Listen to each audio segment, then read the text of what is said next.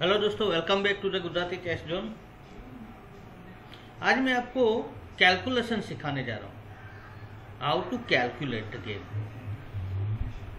जैसे आपके सामने ये पोजीशन है, सबसे पहले दोस्तों, ये जो वीडियो है, वो एकदम एक्सपर्ट प्लेयर के लिए मतलब जो बहुत ही शार्प प्लेयर है, उसके लिए, जो बहुत डीपली कैलकुलेट करते रहते हैं। तो उनको ये वीडियो बहुत पसंद आएगा। बिगिनर्स लेवल में ये समझना थोड़ा डिफ़िकल्ट रहेगा इस वीडियो में। लेकिन बिगिनर्स प्लेयर भी ट्राई कर सकते हैं कि मैं क्या कहना चाहता हूँ उसे समझने की तो सबसे पहले जब भी हम गेम खेलते हैं दोस्तों तो डिसीज़न नहीं ले पाते हैं कि यहाँ पे हम क्या करें तो जो थियोरी है कैलकुलेशन की, वो बहुत इंपॉर्टेंट है। इस पोजीशन में आप देखिए कि वाइट के पास थ्री पॉन है और ब्लैक के पास फाइव पॉन है। मतलब already black is two pawn up इसमें ब्लैक दो पॉन अप है। लेकिन पोजीशन किसकी बेटर है? वाइट की। तो वाइट के दो रूक और क्वीन तीनों पीसेस सेवंथ रैंक पे है। इसीलिए प्रेशर ऑन जी सेवन ये भी मेंटेन कर रखा है वाइट ने। यहाँ डिसीज़न लेना ये बहुत डिफ़िकल्ट रहता है, इस पोजीशन में ब्लैक से। एज ए ब्लैक हम अलग अलग मूव सबसे पहले आपको क्या सोचना है? कैंडिडेट्स मूव कौन कौन सी कैंडिडेट्स मूव है आपके पास? अब जैसे कि इस पोजीशन में ब्लैक टू प्ले है और जी सेवन पॉन के ऊपर ट्रिपल प्रेशर है सपोर्ट सिर्फ़ दो ही है तो ब्लैक के लिए बेस्ट मूव कौन सी होगी? तो पहले हम देखते हैं कि अगर हम जैसे कि ये पॉन को सपोर्ट करने जाते हैं क्वीन बी वन से तो यहाँ पे क्या होगा गेम में? King G two then queen G six black ने सपोर्ट कर दिया और ब्लैक के पास ही पासपोन भी है। लेकिन इसकी इफ़ेक्ट ज़्यादा नहीं रहेगी। और हो सकता है इसमें गेम ड्रॉ हो सकती है। जैसे कि रुक डी सेवन और ब्लैक ने अगर पासपोन पुश किया यहाँ पे, और क्वीन डी फाइव। अब यहाँ पे सब कंट्रोल वाइट के हाथ में आ गया है, और गेम सिंपली ड्रॉ की ओर चली जाएगी।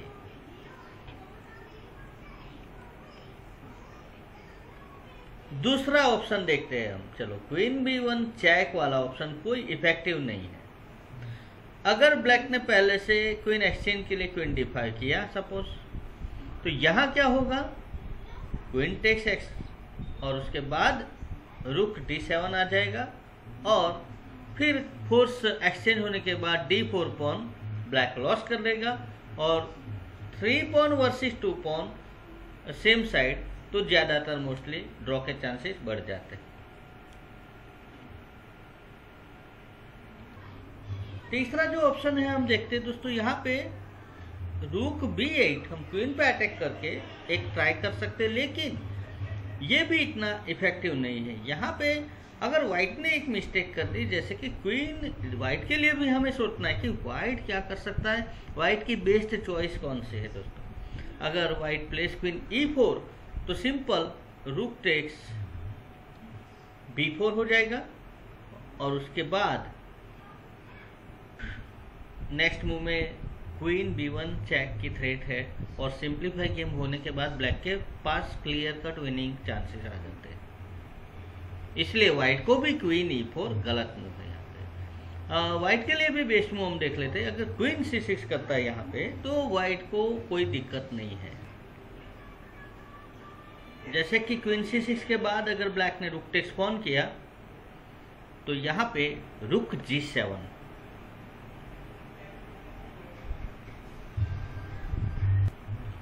After rook takes uh, g7, simply white will win the game. Rook uh, c8 check, rook interpose और क्वीन टेक्स पॉन तो ये पोजीशन आती है दोस्तों यहाँ पे वाइट के लिए बेस्ट मूव रुक सी सिक्स है ब्लैक के लिए जो मूव है रुक बी एट भी पॉसिबल नहीं है। हम चॉइस ब्लैक के लिए ढूंढ रहे दोस्तों। आप अगर बेस्ट मूव ढूंढ सको तो खुद पहले ट्राई कीजिए इसमें। अब ब्लैक के लिए कौन से बेस्ट मूव है? तो यहाँ पे ब्लैक के लिए सबसे बेस्ट मूव है पास पोन का प्रेशर, यानी डी थ्री सबसे पहले पास पोन का प्रेशर ज़रूरी है। इसके बाद वाइट क्या कर सकता है? अब वाइट के पास चॉइस क्या है? रूक इंटू जी सेवन आपके जो पॉन है, उसे पॉन इक्वल तो करना पड़ेगा।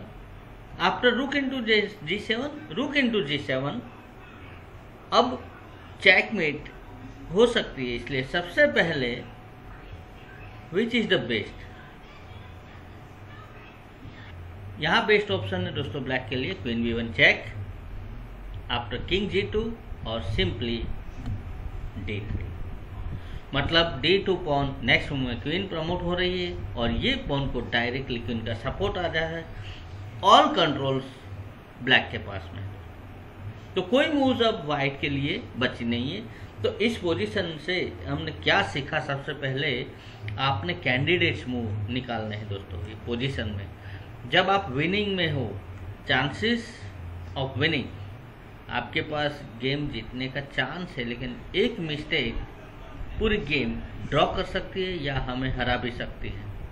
तो यहाँ पे बेस्ट चॉइस हम कैंडिडेट्स में कौन कौन सी देखते हैं? ब्लैक की ओर से ही अगर हम गेम खेल रहे हैं तो हम सोचेंगे ब्लैक की ओर से। ही लेकिन सामने व्हाइट के भी बेस्ट मूव आपको ढूँढने ही है।